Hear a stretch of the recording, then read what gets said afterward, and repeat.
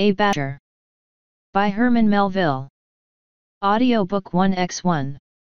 A battle picture three mounted buglers laced in gold, sidelong veering, light in seat, high on the crest of battle rolled ere yet the surges downward beat, the pennant trumpets lightly hold mark how they snatch the swift occasion to thrill their rearward invocation while the sabres, never coy, ring responses as they ride, and, like breakers of the tide, all the mad plumes dance for joy.